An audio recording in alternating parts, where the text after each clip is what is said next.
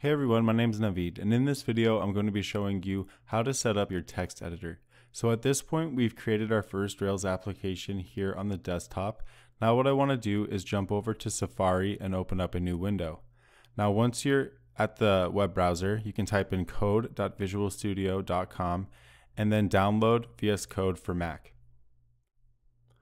Once the download is complete, you can double click the application icon there and that will open up VS Code.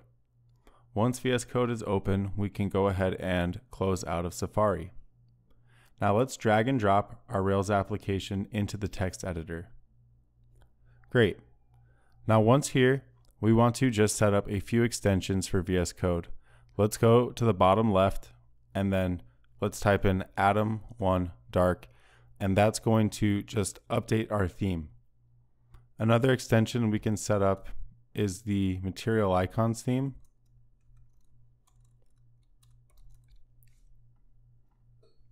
And what that will do is just give us these cool icons on all of our files and directories, just like you see right here.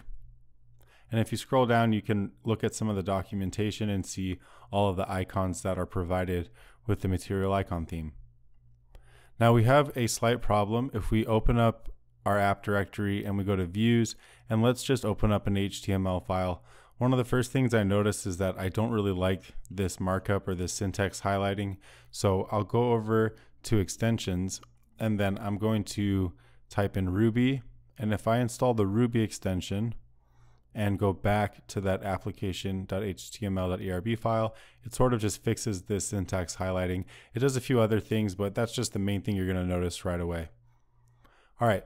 Now, the, the primary issue that I find when I'm trying to use VS Code with Rails is that the formatter is not set up. So if we want to format this document, let's select the gearbox and then we can look at our keyboard shortcuts. If I type in format document, you'll notice that there's a key binding here to format um, any file that we're in. So very quickly, I want to update this key binding to be something that's easier to work with. So I like Command Shift I. So I'll double click and then type Command Shift I, and that will just update my key bindings.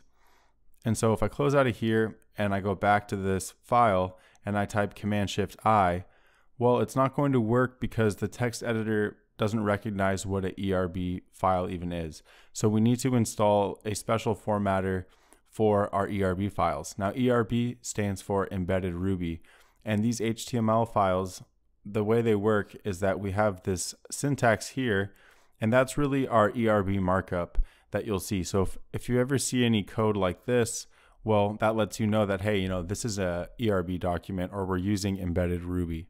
Okay. So you can write both HTML and embedded Ruby in these files. So a problem that we have, if I want to format this document, let's say this document gets totally out of whack and you know everything just gets sort of bent out of shape as I'm doing my code, as I'm developing my application. Now, if I type in Command Shift I, obviously we don't have our formatter. So let's go over to extensions and I'm going to type in ERB formatter. And then we are going to choose this formatter here and very quickly, what I'll do is copy this line, and then we're going to open up a terminal shell inside of VS Code, and then we can paste that into the command line. Great. Once we install this gem, we can close the command line, and then the documentation says to copy this into our settings.json file. So we're going to copy this block, and let's go over to our gearbox and then we can choose settings. And once you're in settings, just type settings into the search bar. You have to scroll down a bit and you'll see this link that says edit in settings.json.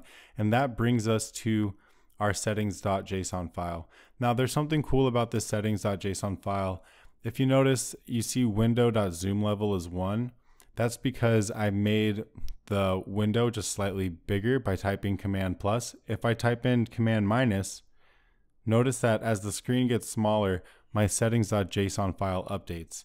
Now I'll type in command plus and the zoom level got bigger. And so this settings.json is basically like a global configuration for the text editor.